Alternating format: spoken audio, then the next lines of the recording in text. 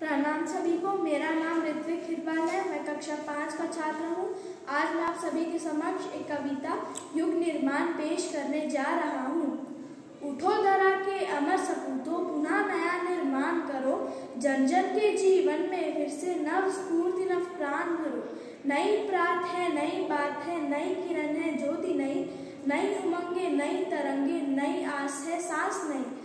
युग युग के मुझे सुमनों में नई नई मुस्कान भरो उठो दरा के अमर सपूतों पुनः नया निर्माण करो डाल बैठ हुए कुछ नए स्वरों में गाते हैं, गुनगुन गुनगुन करते भौरे मस्त उधर मंडराते हैं।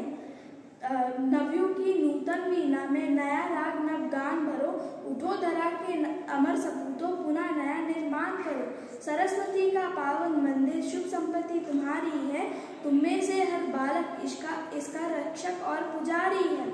छत दीपक जला ज्ञान के, नवयुग का आह्वान करो, उठो धरा के अमर सपूतों करो धन्यवाद